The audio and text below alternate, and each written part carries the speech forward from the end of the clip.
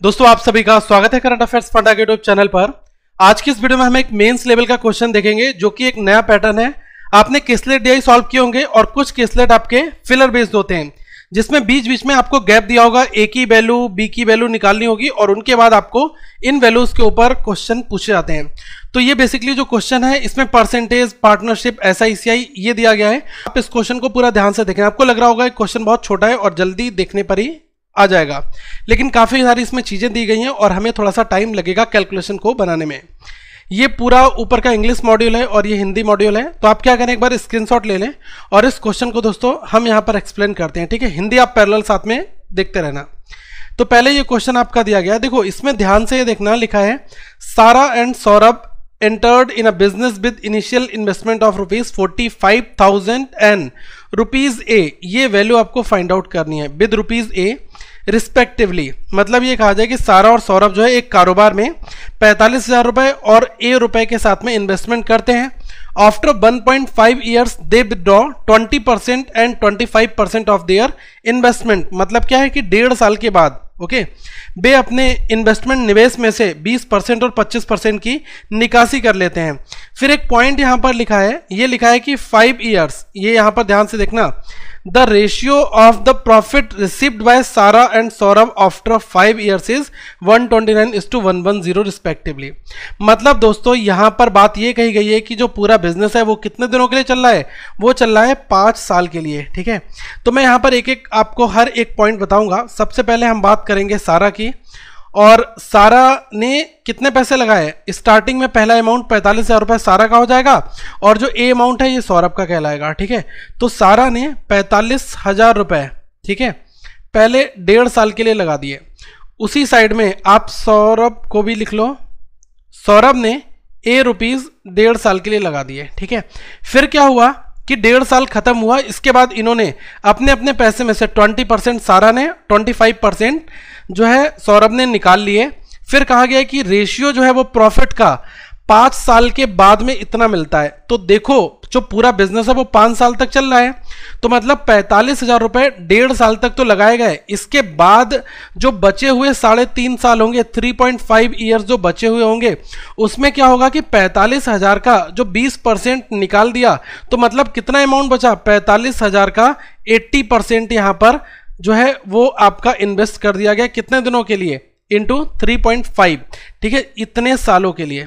तो ध्यान से ये चीज़ समझना कि मतलब यार सीधा सीधा ये है कि पूरा टाइम जो है वो पाँच साल का है। पहले डेढ़ साल पैंतालीस हज़ार रुपए पूरे पूरे लगाए, लेकिन बाद में पैंतालीस हज़ार का हमने ट्वेंटी परसेंट निकाल दिया तो अमाउंट कितना बचा? पैंतालीस हज़ार रुपए का एट्टी परसेंट बचा। वो पैसा हमने साढ़े तीन साल के लिए लगा दिया। और आप इस पूरे सेगमेंट को जोड़ लोगे तो आपका कितना आ जाएगा? पाँच साल का टेन्योर आ जाएगा इन्वेस्टमेंट का, ठीक है? सेम फंडा यहाँ पर भी होगा कि ए के साथ में भी इसने 25 परसेंट निकाल दिया। तो आप यहाँ पर ये देखें कि जो ए होगा, इसका 25 परसेंट निकाल दिया तो कितना बचा? 75 परसेंट बचा और इसको साढ़े तीन साल के लिए लगा दिया गया, ठीक है? और उसके बाद जो प्रॉफिट है, वो कितना इनको मिल रहा है? प्रॉफिट मिल रहा है one twenty nine is two one one zero ठीक है, इतना प्रॉफिट मिलता है। तो ये पूरी कैलकुलेशन करोगे, कैसे निकालोगे? इन दोनों को जोड़ दो।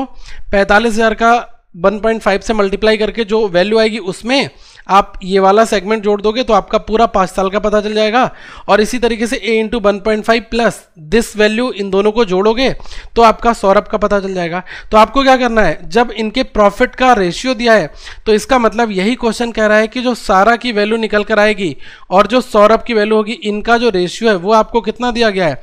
वो दिया है one twenty nine is two one one zero तो हमें ये पूरी वैल्यू कैलकुलेट करके ऊपर रखनी होगी। सौरभ की कैलकुलेट करके नीचे रखनी होगी, बराबर एक सौ उनतीस बटे दस करना होगा, ठीक है? तो मैं यहाँ पर कुछ सेगमेंट आपके बता दे रहा हूँ। देखो, पैंतालीस हज़ार यहाँ पर भी है, पैंतालीस हज़ार यहाँ पर भी, पैंतालीस हज़ार हो गया कॉमन अगर हम ये जो एट्टी परसेंट की बात करेंगे, ठीक है तो 80 परसेंट कितना हो जाएगा? ये हो जाएगा 0.8 और 3.5 की आप 0.8 से मल्टीप्लाई कर दो। तो ये जो है आपका 3.5 इसकी अगर आप 0.8 से जब दोस्तों मल्टीप्लाई कर दोगे तो ये आपका कितना आ जाएगा? ये हमारा आ जाएगा कितना? 2.8 आ जाएगा, ठीक है? इसकी हम मल्टीप्लाई करेंगे 35 इंटू आठ हो गया आपका 280 और ये आपका एक प्लेस के बाद आप इसको करोगे तो कितना आ जाएगा? ये आपका आ जाएगा 2.8 तो 2.8 प्लस 1.5 कितना हो गया? ये हमारा हो गया फोर पॉइंट थ्री तो हमें क्या करना है? पैंतालीस हज़ार में डायरेक्टली मल्टीप्लाई कर देनी है फोर पॉइंट थ्री की।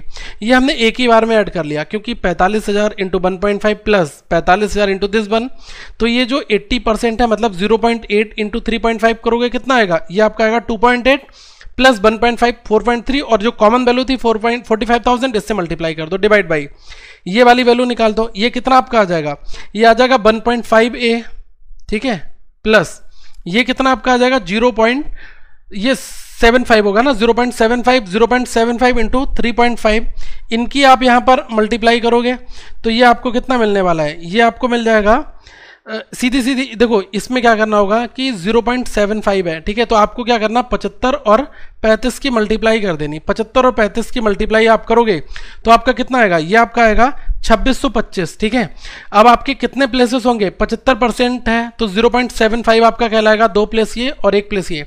तीन प्लेस तो हमारा जो आ रहा है कि 2625 तो इसमें तीन प्लेस के बाद हम डेसिमल लगा देंगे, ठीक है? और अगर आप इन दोनों को ऐड करोगे तो ये रेशियो कितना आ रहा है? ये आ रहा है one twenty nine is to one one zero तो अगर हम इन दोनों को ऐड करते हैं तो हमारा ऐड वाली वैल्यू कितनी आ जाएगी? ऐड वाली वैल्यू आ जाएगी हमारी 1.5 है 2.625 तो ये 1.500 कर दो। ये कितना हो गया? छः और पाँच ग्यारह है। और ये ऊपर कितना? 125 ऊपर है। तो दो और एक, तीन और एक, चार। तो 4.125 ए। ऊपर देख लो। 4.3 तैतालीस इंटू पाँच, ठीक है? हमें कितने करने होंगे? हमें करने, यहाँ पर कैलकुलेशन करनी होगी, ठीक है? अगर आप देखो तैतालीस इंटू पाँच तो चार इंटू पाँच, दो सौ तीन इंटू पाँच, पंद्रह। कितना हो गया? ये हमारा हो गया दो सौ पंद्रह, ठीक है? 215 में पाँच बचा 21 आपका कैरी बचेगा। इसमें कितना हो जाएगा? तैतालीस इंटू चार। तो चार इंटू चार सोलह, एक सौ साठ हो गया। तीन इंटू चार बारह, एक सौ बहत्तर। एक सौ बहत्तर और इक्कीस जोड़ दो, कितने हो गए? ये हो गया वन नाइन्टी थ्री ठीक है? वन नाइन्टी थ्री ठीक है? तो हमारा कितना आ गया? 1935 आ गया। और ज़ीरो कितने यहाँ पर लगेंगे? देखो, आप क्लियरली यहाँ पर ये देख लेना कि ये तीन ज़ीरो हैं तो एक डेसिमल वाला ज़ीरो खत्म हो जाएगा, दो ज़ीरो आपके और लग जाएँगे। तो ये कितना आ गया? ये आपका आ गया एक लाख तिरानवे हज़ार पाँच सौ, ठीक है? Divide by four point one two five a equal to one twenty nine by one one zero इस कैलकुलेशन में दोस्तों ज़रूर टाइम लगेगा क्योंकि कैलकुलेशन ऐसी है। देखो, ये वाली वैल्यू से ये क्या कट सकता है? अगर मैं इसको एक बार काटता हूँ तो एक सौ तिरानवे और ये एक बार अगर आपका जाएगा तो यहाँ पर कितना बचेगा? ये बचेगा आपका, ये एक बार जाएगा तो 193 नाइन्टी थ्री माइनस वन करोगे, कितना आ जाएगा? ये आपका आ जाएगा 64 और ये पाँच हमने और उतार लिया 645 तो अगर मैं इसको तेरह मान लेता 130 तो तेरह पंचे पैंसठ होता है ना? तो बिल्कुल, ये कितना होता? है 650 होता तो ये पाँच बार पूरा पूरा चला जाएगा। एक से पाँच बार जाएगा तो ये कितना होगा? 645 कट जाएगा। दो ज़ीरो आपके और बचेंगे। तो यहाँ पर वैल्यू बची 1500 divide by 4.125 a is equals to one by one one zero. यहाँ पर देखो क्या कोई वैल्यू कटने वाली है। अगर मैं इसको 11 से देखता, क्या ये 11 से आपका कट जाएगा? तो देखो 11 से 10 बार पूरा गया और इसको देखो काटो, दशमलव अभी हटा दो। तो इकतालीस है 11 से तीन बार आठ हुआ, बयासी हुआ 11 से सात बार, पाँच, पचपन, पाँच बार। ठीक है? अब क्या था? एक डेसिमल हमारा यहाँ लग गया, ठीक है? अगर मैं इस दस को भी यहाँ पर ख़त्म करना चाहूँगा तो कितना आ जाएगा? ये आपका आ जाएगा point zero three seven five ठीक है? तो यहाँ पर जो ए के साथ में वैल्यू आई है, वो कितनी आई? Zero point zero three seven five a ठीक है? Is equals to one five zero zero तो आपको ए की वैल्यू निकालनी है। इस डेसिमल को हटाओगे तो ऊपर एक दो तीन चार ज़ीरो लग जाएँगे। तो मैंने यहाँ पर चार ज़ीरो लगा दिए, ठीक है? और डिवाइड किससे कर दो? 375 से कर दो। 375 से कितने बार कट जाएगा? सीधे सीधे जाएगा कितने बार ये? तीन पंचे पंद्रह। ठीक है? ये जाएगा चार बार। पूरा पूरा चार बार जाएगा। और ये कितना था? दस हज़ार था। दस हज़ार इंटू चार कितना आ गया? ए की वैल्यू आपकी आ गई चालीस हज़ार। अब आपको यार, इसमें टाइम लग गया। बिल्कुल टाइम लगेगा, क्योंकि कैलकुलेशन ही ऐसी है। और जितनी जल्दी कर लोगे, उतनी जल्दी आप इस क्वेश्चन से निजात पा लोगे अभी केवल आपको ए की वैल्यू मिली है, ठीक है? तो जो वैल्यू आपको मिल गई, इसको आप साइड में स्टोर करके रख लो ओके अब हम थोड़ा सा और आगे बढ़ते हैं। तो हमें कहाँ तक हमने क्वेश्चन सॉल्व कर लिया था? इस वाले सेगमेंट तक, ठीक है? अब यहाँ से देखो, लिखा है, Aman invested rupees a at b percent per annum simple interest for three point five years ठीक है? And received rupees sixty eight thousand as the total amount यहाँ पर ये कहा गया है कि अमन ने जो ए रुपीज़ था ए हमारी वैल्यू कितनी निकल कर आई? ए निकल कर आया हमारा चालीस हज़ार।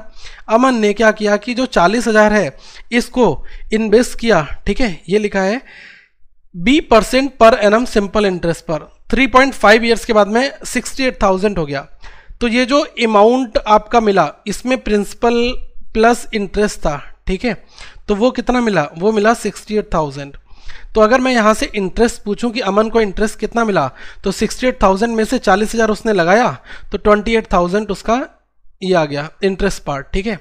तो अब आपको क्या करना है? वही सिंपल लगा दो यार एस आई बराबर P R T by hundred क्योंकि हमें यहाँ पर कौन सी वैल्यू नहीं पता है? बी परसेंट की वैल्यू मिल जाएगी, क्योंकि बी परसेंट पर एनम ये रेट ऑफ़ इंटरेस्ट है बी परसेंट में। तो देखो, ऐसा ही कितना है? Twenty eight thousand twenty eight thousand यहाँ पर रख दिया। इज़ इक्वल्स टू प्रिंसिपल कितना है? फोर्टी थाउज़ेंड ठीक है? ये हमारा कितना आ जाएगा? फोर्टी थाउज़ेंड इंटू रेट जो कि दिया है आपका बी परसेंट इंटू टाइम कितना है? ये लिखा है ना 3.5 तो 3.5 पॉइंट फाइव यहाँ पर आ जाएगा। डिवाइड बाई हंड्रेड आपका एज इट इज़ है। दो ज़ीरो से दो ज़ीरो खत्म हो गए। ये वाले दो ज़ीरो से ये वाले दो ज़ीरो खत्म हो गए, ठीक है? चार से इसको काट लो, सत्तर बार गया। और थ्री पॉइंट फाइव से अगर इसको काटोगे तो ये एक ज़ीरो यहाँ पर आ जाएगा, पैंतीस से दो बार जाएगा, बीस हो जाएगा। मतलब बी की जो वैल्यू है, वो कितनी आ गई? ट्वेंटी परसेंट तो अब आपके पास कितनी वैल्यू हो गई? ए की भी वैल्यू आ गई और बी की वैल्यू आ गई। इन दोनों वैल्यू को दोस्तों साइड में नोट करते जाओ ओके इतना समझ में आ रहा है। अब फिर क्या कहा जा रहा है कि Bikas purchased an article at an amount equal to the interest received by Aman and he marked up the article by 35 percent above the cost price and offered a discount of rupees c बहुत लंबा statement लिख दिया। कोई बात नहीं। एक एक करके ब्रेक करके इसको पढ़ो। ठीक है?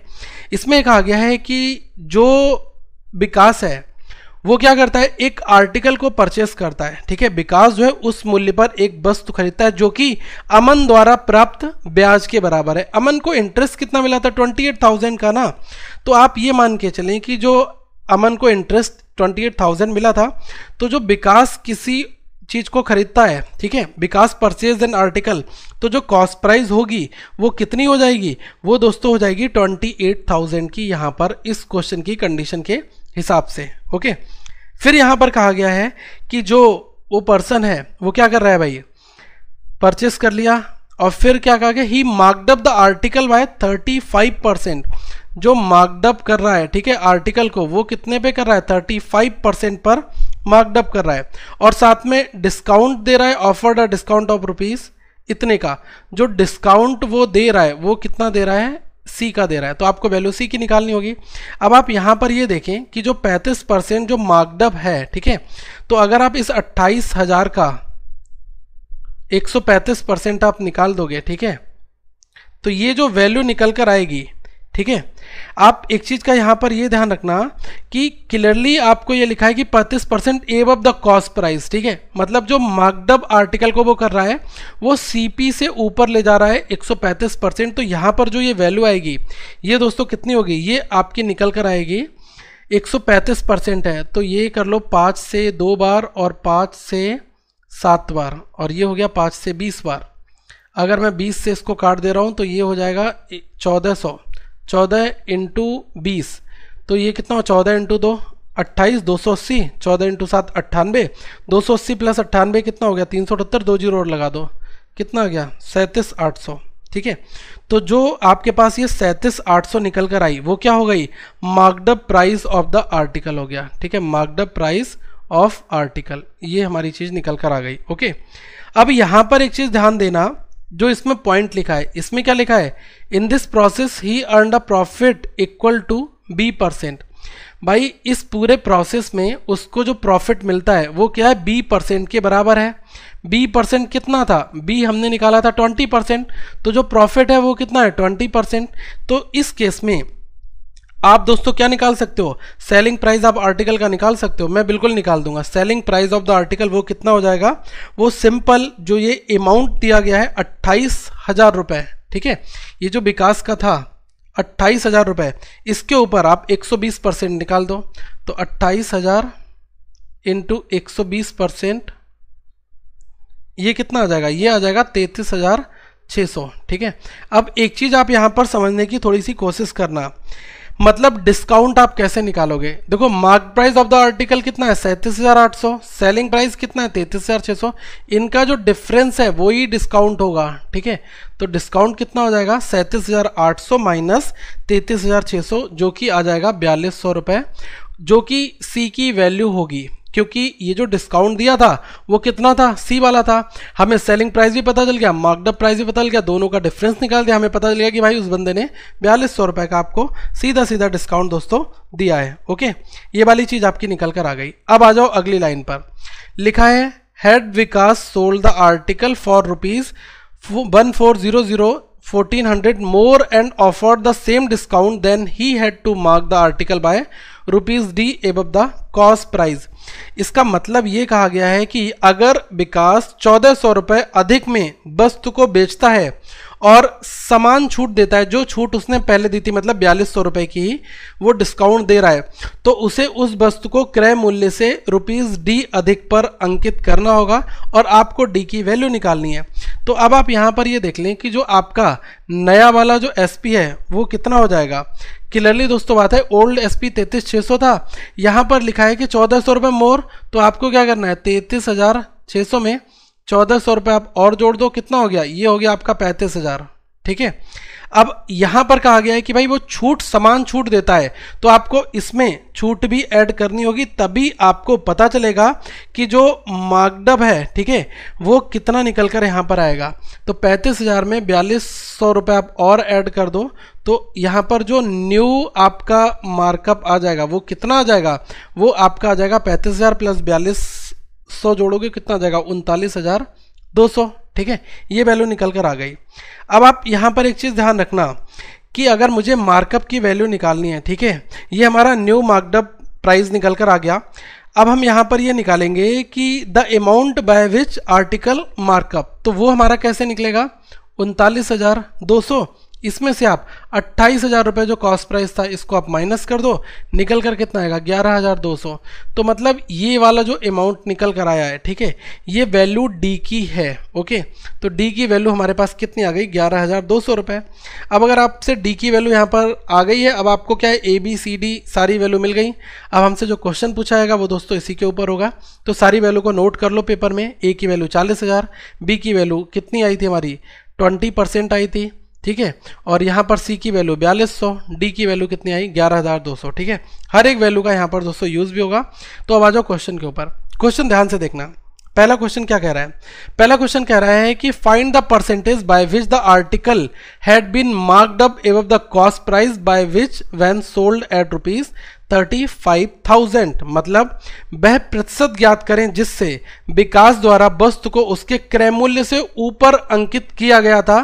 और जब इसे पैंतीस हज़ार में बेचा गया था तो आप क्लियरली दोस्तों एक चीज़ यहाँ पर ये देखना कि कितना ऊपर अंकित किया गया था, ग्यारह हज़ार दो सौ, जो अभी हमने पीछे जस्ट निकाला है, ये जो डी की वैल्यू आई है, यही वैल्यू तो निकल कर आई है, इतने ऊपर अंकित किया गया था। और ये हमारा किस पर होगा कॉस्ट प्राइस पर? कॉस्ट प्राइस कितना है? अट्ठाईस हज़ार रुपए। तो ग्यारह हज़ार दो सौ divide by twenty eight thousand into hundred ठीक है? ये आपका परसेंटेज निकल कर आ जाएगा, वही वाला परसेंटेज जो यहाँ पर पूछा गया है। तो आप देखो, दो ज़ीरो से दो ज़ीरो कट गए, एक ज़ीरो आपका ये और बचा, अब 28 से ये कितने बार जाएगा? ये आपका जाएगा चार बार, पूरा पूरा जाएगा 40 परसेंट। तो ये 40 परसेंट सीधा सीधा आ गया, ओके? इस क्वेश्चन में देखो क्या कह रहा है। इस क्वेश्चन में आपसे कहा गया है कि find the sum of the interest received by Aman Aman को प्राप्त ब्याज और पिछले साढ़े तीन वर्षों के व्यापार में सौरभ द्वारा निवेश की गई राशि का योग बता दो कितना आएगा। मतलब अमन के द्वारा जो ब्याज अमन को कितना मिल रहा है? अट्ठाईस हज़ार रुपए का मिल रहा था। ये तो हमने क्वेश्चन में ही देख लिया था ना। अमन को जो इंटरेस्ट निकल कर आया था, वो आ गया था अट्ठाईस हज़ार रुपए, ठीक है? जिसको नहीं समझ में आ रहा, वो एक बार फिर से देख लो, क्योंकि हमने यहाँ पर आपको बताया था क्लियरली दोस्तों कि भाई वो अड़सठ हज़ार रुपये में उसको टोटल अमाउंट मिला, चालीस हज़ार रुपये इन्वेस्ट किए तो अट्ठाईस हज़ार उसका ब्याज मिल गया, ठीक है? तो इतना आ गया। फिर कहा गया कि साढ़े तीन साल में सौरभ ने कितने पैसे इन्वेस्ट किए? अब आप देखो कि सौरभ ने जो अमाउंट इन्वेस्ट किया था, वो क्या क्या था? ए रुपीज़ था। ए की वैल्यू चालीस हज़ार हमने निकाली थी। फिर ये कहा गया था साढ़े तीन साल में। ये एक चीज़ और ध्यान रखना कि 25 percent of their investment withdraw करने के बाद तो आप ये देख के चलें कि जो 45 ये चालीस हज़ार की जो वैल्यू आपकी निकल कर आई है, ठीक है? तो चालीस हज़ार का पचहत्तर परसेंट उसने साढ़े तीन साल के लिए लगाया है आगे के लिए, ठीक है? तो हमें क्या पता है? चालीस हज़ार का, ठीक है? हमें कितना निकालना होगा? 25 परसेंट निकाल दिया था मतलब 75 परसेंट ही तो उसने इन्वेस्ट किया था। ये वैल्यू आपकी निकल कर आएगी, जो उसने साढ़े तीन साल के लिए लगाई है, ठीक है? तो ये कितनी आ जाएगी? ये आप देख लो, तीस हज़ार आ जाएगी सीधे सीधे थर्टी थाउज़ेंड, ठीक है? तो तीस हज़ार ये, अट्ठाईस हज़ार ये, तीस, बीस, पचास और आठ, अट्ठावन हज़ार रुपये जो है, उसका टोटल सम आ जाएगा, जो अमन ने ब्याज लगाया और सौरभ ने साढ़े तीन साल के लिए जो इन्वेस्ट किया है, उसकी वैल्यू ठीक है? इस क्वेश्चन को देखो, यहाँ पर क्या कह रहा है? थर्ड में ये कह रहा है कि जब दो वर्ष के लिए पंद्रह हज़ार रुपए को बी प्रति वर्ष वार्षिक दे चक्रवृद्धि ब्याज की दर से निवेश किया जाता है तो प्राप्त राशि कितनी होती है? मतलब यहाँ से आपसे अमाउंट पूछा गया है जिसमें प्रिंसिपल और सीआई आपका दोनों ऐड होकर आएगा। मतलब find the amount received by fifteen thousand at a b percent b की वैल्यू कितनी आई थी? ट्वेंटी परसेंट पर एनम की रेट से सीआई पर दो साल के लिए निकाल दो। तो बड़ा सिंपल है यार। दो साल, एक ग्रेड बना लो, दो साल वाला। पंद्रह हज़ार का बीस परसेंट कितना आएगा? तीन हज़ार रुपये पहले साल में तीन हज़ार, दूसरे साल में भी तीन हज़ार, फिर क्या दूसरे साल में जो ये तीन हज़ार होगा, इसके ऊपर इंटरेस्ट भी तो आपको मिलेगा ट्वेंटी परसेंट की रेट से। तो ये कितना आ जाएगा? तीन हज़ार का बीस परसेंट कितना आ गया? छः सौ। पूरा CI कितना उसको मिला? तीन और तीन छः और छः छियासठ सौ। ठीक है? उसने अमाउंट कितना लगाया था? पंद्रह हज़ार रुपये क्योंकि प्रिंसिपल अमाउंट पंद्रह हज़ार लगाया, इतना उसको सीआई मिला। टोटल आपसे अमाउंट पूछा जा रहा है। तो पंद्रह छः इक्कीस छः सौ। किसी को कोई दिक्कत? मुझे लग रहा है नहीं होगी। ठीक है? एक बार इस क्वेश्चन को बनाओ। देखो इसमें क्या कहा जा रहा है। इसमें कहा जा रहा है कि find the ratio of the initial amount invested by Sara to the mark price of the article which is sold for rupees thirty five thousand by the Vikas मतलब सारा द्वारा निवेश की गई प्रारंभिक राशि, ये कितनी है?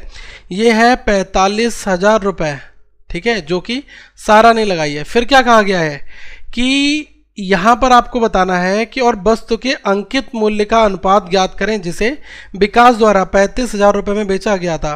तो भाई जब पैंतीस हज़ार रुपये में जिसको बेचा गया था, उसका हमने अंकित मूल्य, मार्क प्राइस निकाला था, कितना आया था? उनतालीस हज़ार दो सौ रुपये आया था। क्वेश्चन में जब हमने कैलकुलेट किया था तो आपको पता होगा, उनतालीस हज़ार दो सौ के साथ रेशियो निकाल कर नीचे कमेंट करके हर एक वो बंदा बताए, जो प्लीज़ इस वीडियो को देख रहा है। मल्टीपल कमेंट्स हो, मज़ा आएगा। पता चलेगा कि कितने सेंसर आप लोग हैं। अगर मैं वीडियो को बना रहा हूँ तो प्लीज़ आप लोग भी अपना कॉपरेट दें और हर एक पर्सन कमेंट करें नीचे, जितना भी उसका आंसर निकल कर आ रहा है, ठीक है? टू बी ऑनेस्ट एक बार लास्ट वाला क्वेश्चन देख लो, ये है question number five question number five आपसे पूछ रहा है find the original discount offered by Vikas भाई ओरिजिनल डिस्काउंट आप किसको कंसीडर करोगे? पूछा है ना कि वास्तविक छूट की गणना करके बताओ। तो भाई, जल्दी से नीचे मुझे बताओ वास्तविक छूट की कितनी वैल्यू आपकी आई, ठीक है? अगर आप मुझसे पूछना चाहोगे, ठीक है? तो मैं आपको एक बार ऑप्शन दे दूँ। चलो, मैं ऑप्शन दे दे रहा हूँ आपको। ऑप्शन दे दे रहा हूँ आपको इक्कीस सौ, बयालीस सौ अट्ठाईस हज़ार और ये आ गए चौरासी सौ। ठीक है? तो नीचे बताओ, कौन सा वाला आंसर आ रहा है? वैसे ऑप्शन तो बच्चों वाले यार, ठीक है? आप समझ गए क्या मैं कहना चाह रहा हूँ। और ऐसे ही हाई लेवल उच्च लेवल के, उच्च कोटि के डीआई हम आपके लिए लाते रहेंगे। आप लोग अपनी अपनी रिक्वेस्ट नीचे ज़रूर देना कि आप अगला टॉपिक क्या चाहते हैं, ताकि हम उस पर वर्क करें। Thank you have a good day to all of you अपना ध्यान ज़रूर रखें।